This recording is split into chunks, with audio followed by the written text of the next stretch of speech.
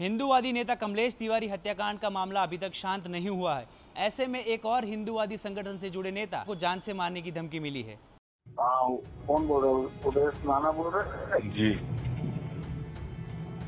हाँ कल कोर्ट में ना लाश भी गिरा वहीं पे वो गोली मारा जाएगा दागा जाएगा। विश्व सनातन नाम के संगठन से जुड़े हिंदूवादी नेता उपदेश राणा को पिछले कुछ दिनों से एक के बाद एक विदेशी नंबरों से फ़ोन कॉल आ रहे हैं। और उपदेश राणा को जान से मारने की धमकी दी जा रही है। उपदेश सनातन धर्म में राष्ट्रीय प्रचारक है और अपने बयानों को लेकर विवादों में भी घिरे रहते हैं। उपदेश राणा को कॉल के साथ उनके साथियों को धमकी भरे मैसेज भी आ रहे हैं और सभी नंबर विदेश के बताए जा रहे हैं। उपदेश ने इस मामले में अहमदाबाद, भरूच और गोधरा में एफआईआर भी दर्ज करवाई है। उपदेश राणा ने कहा कि कमलेश तिवारी की हत्या के बाद उन्हें लगातार जान से मारने की धमकी भरे कॉल आ रहे हैं और इस मुद्दे को लेकर उन्होंने गुजरात के गृह मंत्री प्रदीप सिंह जडेजा से भी मुलाकात की है।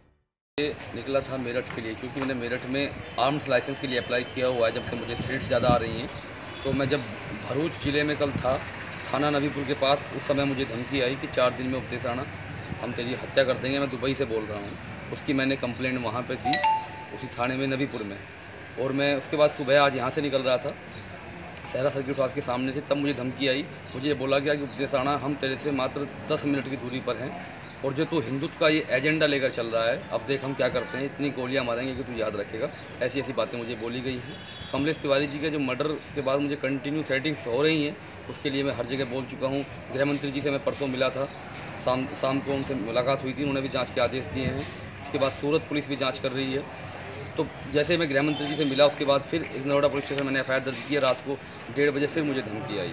तो ये सिलसिला लगातार चल रहा है कंटिन्यू चल रहा है। मेरी गाड़ी भी ब्लास्ट करने की बोली थी मैं राजस्थान से आ रहा था कि जैसा तेरी गाड़ी ब्लास्ट कर देंगे और जो तेरे साथ चलता है सभी को मार देंगे चाहे इसमें कोई भी हो तो ये सारा प्रक्रिया चल रही है काफ़ी टाइम से। उपदेश राणा को मिल रहे धमकी भरे फ़ोन कॉल को लेकर पुलिस ने फ़िलहाल मामला दर्ज कर लिया है।